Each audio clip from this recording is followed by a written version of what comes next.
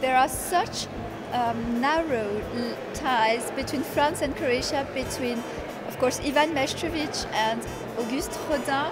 So it was really necessary to have this exhibition of Rodin taking place here in Zagreb in partnership with the Meshtrovic Museum.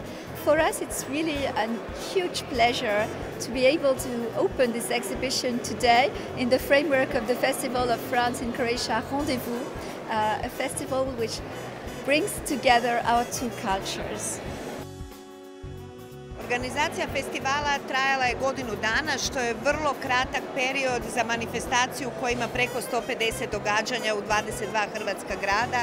Ideja za festival je došla nakon što se Hrvatska fantastično prezentirala u Francuskoj svoju kulturu 2012. godine e, i s obzirom da je, to, da je e, taj događaj, odnosno ta serija događanja, bilo je oko 60 evenata, postigla jako veliki uspjeh, Francuska strana je odlučila da će vrlo brzo napraviti uzvratni posjet i svoju kulturu pokazati i hrvatskoj publici. S obzirom da je nama ovaj događaj važan jer za nas, Ministarstvo kulture, znači da se otvorio jedan, rekao bi kao brana jedna, kroz koju će sada navrijeti 160 i nešto projekata francuskih u Hrvatskoj. Oui, ça s'est très très bien passé. En fait, c'est l'histoire d'une amitié qui dure depuis des années et qui aujourd'hui euh, nous a permis de réaliser cette euh, opération. Évidemment, vous l'imaginez, une grosse opération, ça demande une grosse préparation euh, à la fois scientifique, artistique, financière aussi.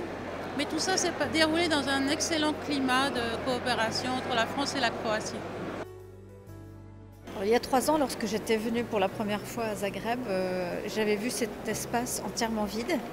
Et euh, M. Kostolovic Opara m'avait dit euh, Est-ce que vous pensez que ce serait bien pour une expo Rodin? Et j'avais dit Ah oui, c'est un très très bel espace. je pense que la sculpture fonctionnerait très bien à l'intérieur. Et euh, en entrant, j'ai vu que effectivement la sculpture fonctionne très bien à l'intérieur. Donc je suis très heureuse du montage de cette exposition parce qu'elle permet de montrer de manière large la carrière de Rodin au public croate.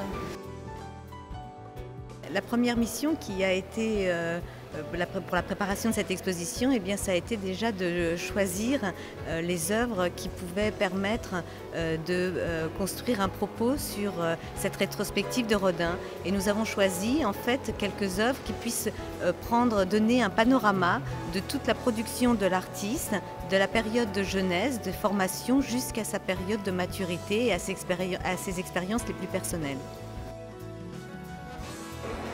Je suis certain que l'exposition euh, Rodin à Zagreb aura un succès euh, comparable à l'exposition Mestrovic à Paris que j'ai eu l'honneur euh, de voir et qui a eu un succès immense.